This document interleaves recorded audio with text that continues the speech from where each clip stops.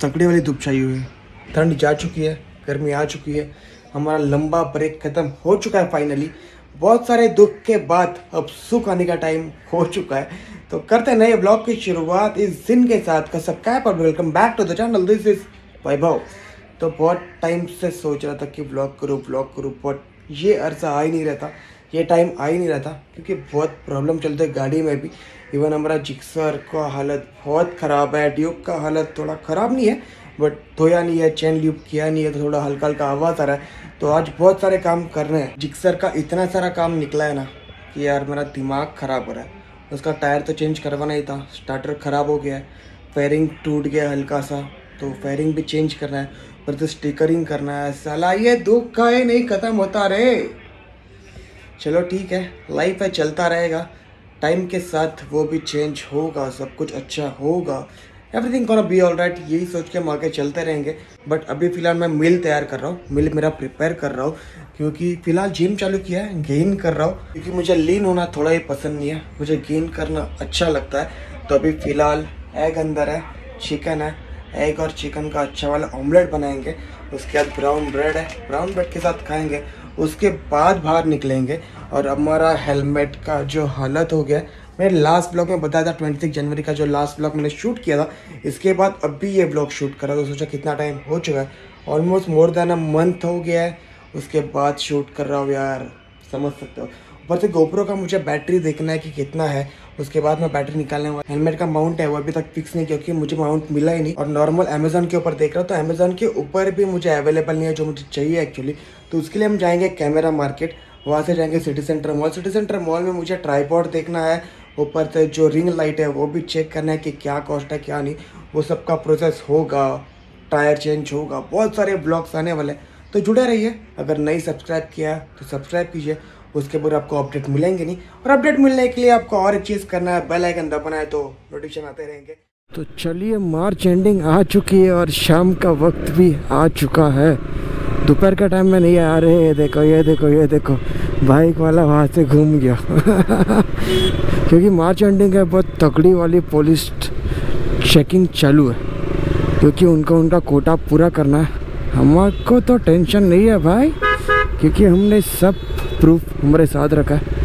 और अभी शाम का टाइम इसलिए निकला हो क्योंकि दोपहर में थोड़ा खाना खाया, थोड़ा रेस्ट किया और दोपहर का टाइम निकलता हो तो पूरा वाट लग जाता है बॉडी का कि पसीना पसीना फिर इरीटेड हो जाता है। शाम का टाइम में थोड़ा रिलैक्स लगता है क्योंकि थोड़ा धूप हल्का रहता है। तो अभी फ़िलहाल ट्यूब का हम वॉश करेंगे। उसके बाद चैन लुक तो विदाउट रिकॉर्ड करेंगे। पहले इसका वॉश करवाना है क्योंकि बहुत गंदी हो गई है।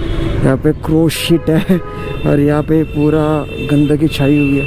पहले इसको वॉश करते हैं, फिर उसके बाद जाऊँगा घर पे, इसको रखूँगा, फिर जिक्सर लेके आऊँगा।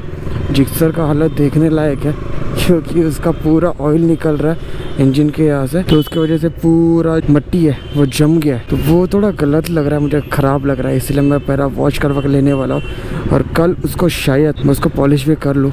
देखते हैं अब इट को सबसे बड़ी बात, अगर वॉइस प्रॉपरली नहीं आता रहेगा। आई एम रियली सॉरी क्योंकि इसका एयर प्रेशर की वजह से अगर वॉइस मेरा फट्टा रहेगा या कुछ भी, क्योंकि माइक में बहुत टाइम के बाद यूज़ कर रहा हूँ। मुझे नहीं पता कि कैसा वॉइस आ रहा है। ऊपर से वाइज़र प्रॉपरली बंद नहीं हो रहा है, क्योंकि जो मैंने माउंट लगाया, वो परमानेंट माउंट नहीं है। जो नॉर्मली हम प्लग इन करते हैं मतलब जो इसका है थ्रेड का है, जो पंच वाला, क्या उसको बोलते हैं यार, वो भी समझ में नहीं आ रहा। वो नॉर्मली अपने टेम्परी वाला लगा है उसके बाद हम देखेंगे माउंट कैसा है। तो अच्छी तरीके से वॉश हो गई है हमारे ड्यूक। तो अभी फ़िलहाल हाईवे के ऊपर थोड़ा रेव करता है कि बहुत टाइम हुआ गाड़ी भगाया नहीं है मैंने। और वो क्रेज़ी अलग है बस। तो हवे का आवाज़ आने वाला है बस। मेरा कुछ भी आवाज़ आने नहीं वाला है क्योंकि नीचे से जो विंड रोकता है कपड़ा वो एक्चुअली मैंने निकाल दिया है। तो ठीक है चलो। खींचते उसको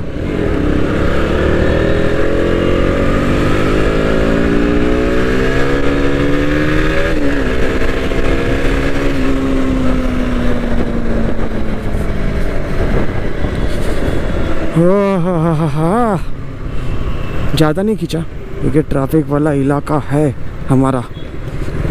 ये रोड पे ज़्यादा नहीं खींचने के लिए होता है, बस। ये कुछ ना कुछ तो डिस्टर्बेंस आता ही आता है।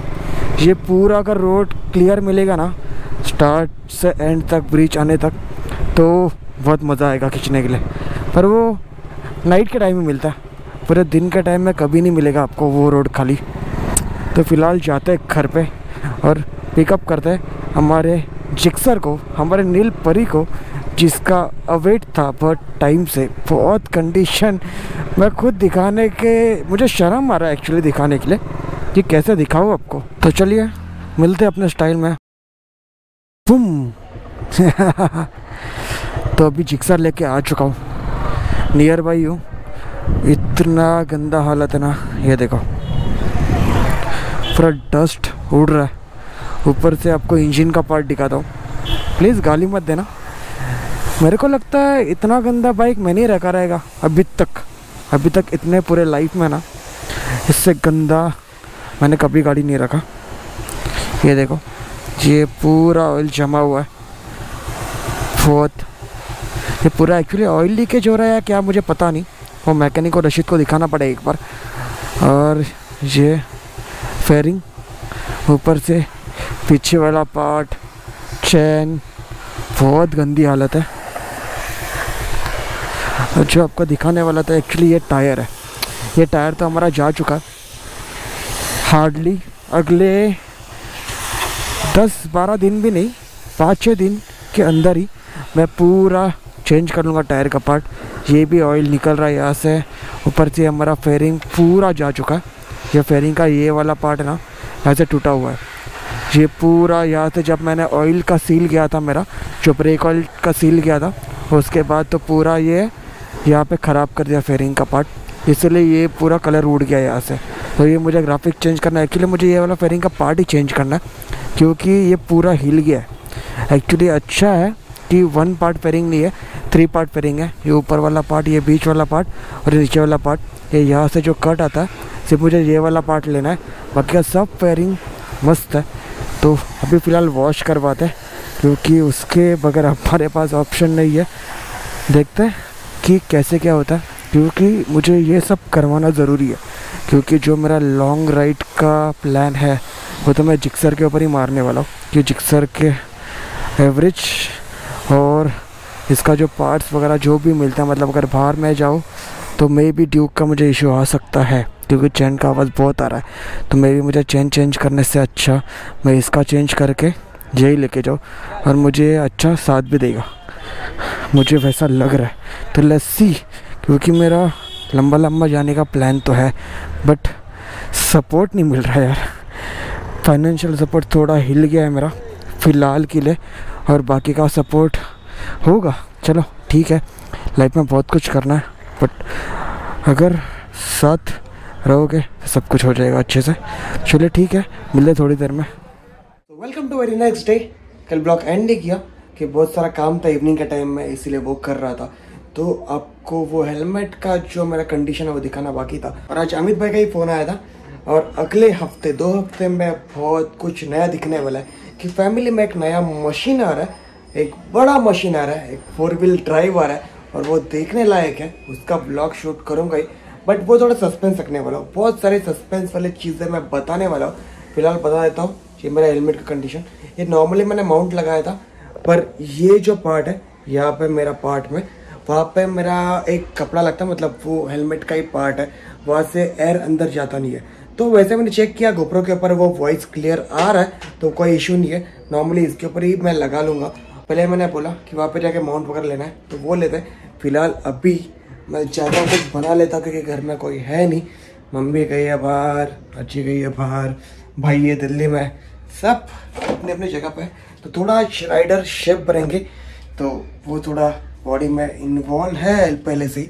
और फ़िलहाल अभी चार बजे मैं निकलने वाला हूँ। एक गाड़ी की बुकिंग करने के लिए मैं भी अगर पसंद आई तो बुक करेंगे। कौन सा है, क्या है, क्या नहीं, वो सब पता चलेगा। पर उसको सस्पेंस रखेंगे अगले ब्लॉग में कि ये ब्लॉग में सब कुछ डालूँगा तो मज़ा नहीं आएगा। तो ये ब्लॉग करते हैं यही pen thank you so much each and everyone for giving your valuable time as always अस्सलाम बेबी लिव फ्री राइडर